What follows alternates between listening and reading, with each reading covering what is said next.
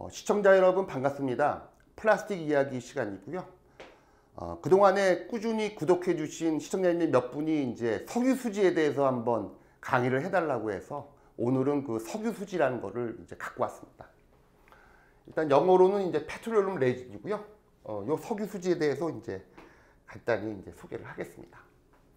먼저 그 천연 수지부터 말씀을 드리겠습니다. 어, 가장 중요한 천연 수지는 역시 그 천연 고무나무에서 나오는 그 라텍스죠. 어, 아무래도 이제 일단은 다양한 이제 응용이 있을 수가 있기 때문에 천연 고무가 가장 중요하고요.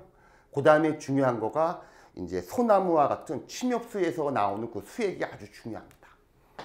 어, 특히 이제 소나무에서 나오는 그 수액은 어, 주성분이 이제 로진하고 터펜이라고 하는 거가 있는데 이걸 우리 인간들이 놓치지 않고 사용하고 있습니다.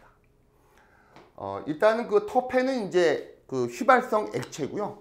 요거는 이제 터피놀이라든지 좀 이렇게 천연 용매 쪽에도 쓰이고요. 다양한 응용을 갖고 있는데 요거는 이제 액체 형태고요. 그 다음에 이제 그 소나무가 갖고 있는 고체의 이제 수지가 있는데 요 고체의 수지를 우리들은 이제 영어로는 로진이라고 얘기하고 있고요. 그 다음에 이제 한국말로는 송진이라고 하고 있습니다. 요 그 송진도 다양한 운용에 사용되고 있습니다. 그, 그 납땜할 때도 이제 송진이 한 1% 정도는 들어가고요. 아, 그 다음에 이제 접착력 등이 있어갖고 여러분들 그 저 운동 선수들도 특히 뭐 역 그 역도 선수들 같은 경우에서도 보면은 손에다가 뭔가 가루를 예를 들어서 뿌린 다음에 이제 이걸 잡거든요. 왜냐하면 접착력 향상을 하기 위해서도 이제 이런 송진이 많이 사용되고 있습니다. 그래서 이제 아, 로진과 같은 수지는 또 다른 표현을 하게 되면 이제 천연 이제 접착 수지라고도 이제 부를 수가 있는데 요거는 이제 천연이고요. 그 다음에 이제 석유화 그 공정을 통해 갖고도 이러한 접착력을 갖고 있는 그런 수지를 만들 수가 있습니다. 그런 것들을 우리들은 이제 석유 수지라고 얘기를 합니다. 어, 일단은 그 저 NCC 공정을 하다 보면은 일단 C2, C3, C4 케미칼이 나오고요. 그 다음에 이제 C5 케미칼이 나옵니다. 카본 다섯 개를 갖고 있는 cyclopentadiene이라고 하는 재료가 있습니다. 어. 요거는 이제 cyclopentane이고요. 어, 그 다음에 이제 double bond가 두 개 있는 거를 이제 cyclopentadiene이라고 얘기하고요. 요거를 우리들은 이제 C5 케미칼이라고 얘기하고 있습니다. 요 그 C5 케미칼을 일양을 하게 되면은 우리가 이제 dicyclopentadiene이라고 약자로는 이제 DCP라고 합니다. 카본은 이제 10개가 되는 건데요. 왜냐하면 C5를 이제 일양을 했기 때문에 이러한 그 DCPD는 아주 그 접착력을 발현을 잘합니다. 그래서 이제 이와 같이 NCC 공정에서 나오는 DCPD 기반의 우리들 수지를 우리들은 석유 수지라고 얘기를 하고 있습니다.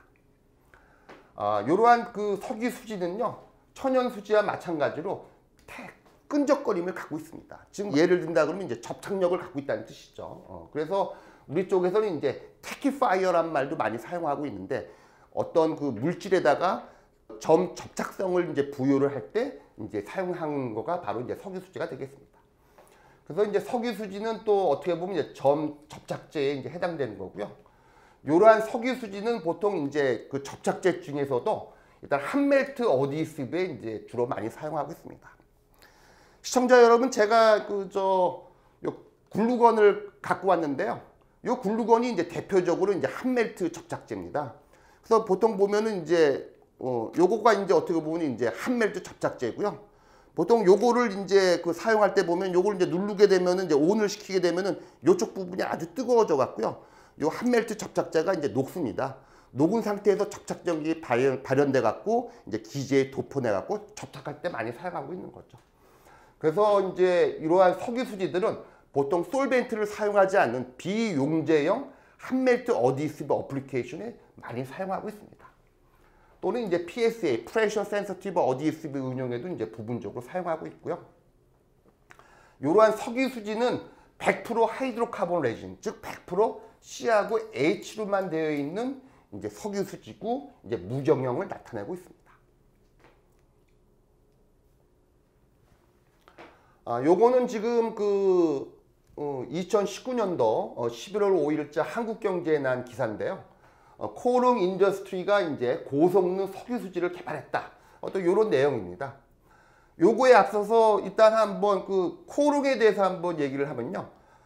어, 이제 그 코오롱 유화하고 그 주코오롱이 2000년대 초반에 이제 합병을 했기 때문에 어, 그래서 이름은 지금은 이제 코오롱 인더스트리 바뀌었는데 아, 코오롱이 국내에서는 제일 처음으로 어, 그 석유 수지를 개발한 회사가 되겠고요. 어, 1976년도에 이제 코오롱 유화 아, 지금 어떻게 보면 이제 코오롱 인더스트리의 전신이 되겠죠. 코오롱 유화가 국내에서 최초로 어, 그 석유 수지를 개발을 했습니다. 1997년도에는요.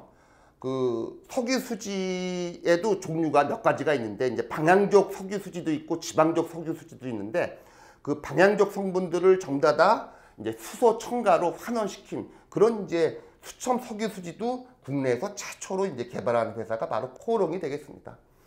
그래서 이제 요 기사는 이제 코오롱이 어, 전 세계에서 최초로 이제 어, 고성능 석유 신제품을 개발했다고 합니다. 어, 그래서 코오롱 인더스트리는 이제 요 수지를 이제 HRR 그래서 이제 high reactive resin이라고 부르고 있는데요. 한국말로는 이제 반응형 석유 수지로 이제 명명을 하였습니다. 그래서 이 기사에 따르면 이제 HRR은 어, 공기 중에 있는 수분과 반응을 해갖고 이제 어, 단단해져 갖고 접착 성능이 높아지는 제품이라고 하는데 어, 전 세계에서 유일하다고 합니다. 그래서 이제 코오롱 인더스트리 같은 경우는 지금 이제 더 투자를 많이 해갖고 지금 이제 2021년도 1월 달에 또 이제 신규 설비도 지금 증설하고 있다고 합니다. 어, 전체적으로 보면은 이제 이 석유 수지가 인기가 좋다고 합니다. 특히 이제 이러한 석유 수지는 어, 다양한 제품에도 이제 사용될 수가 있는데 특히 위생 제품, 어, 예를 들어서 이제 기적이라든지 생리대 이런 것들을 만들려고 할 때도 이제 접착제가 필요하거든요.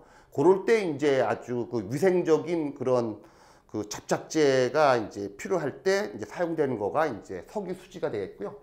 요게 지금 뭐 우리나라 기저귀라든지 생리대가 인기가 좋아갖고 이제 중국에도 많이 수출하고 그러는데 그럴 때 이제 석유 수지가 많이 사용되고 있기 때문에 어 일단은 이쪽은 일단은 시장이 좀 활발하게 진행되고 있는 것 같습니다. 아, 요거는 그 저 코오롱 인더스트리의 그 홈페이지에서 제가 딱 갖고 왔습니다. 그래서 이제 코오롱 인더스트리의 그 석유 수지를 소개하는 어, 그런 이제 홈페이지 내용이 되겠고요. 아, 조금 전에도 이제 말씀을 드렸지만은 일단은 그 세 가지 종류의 이제 석유 수지가 이제 코오롱 인더스트리는 시판되고 있죠. 일단은 이제 지방족 이제 석유 수지가 있고요.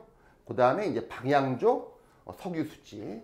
그 다음에 이제 방향, 방향족 성분이라든지 double bond를 전부 다 수소로 환원시킨 수첨 석유 수지 세 가지의 이제 카테고리로 해서 코오롱 인더스트리는 비즈니스를 어, 그 풀어가고 있습니다.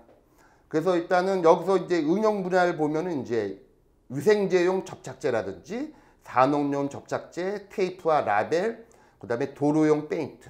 그 여러분들 그저 어, 그 아스팔트 도로에도 보통 보면은 이제 도로 차선 같은 거를 이제 표시를 하려 그러면 도로용 페인트가 필요한데요.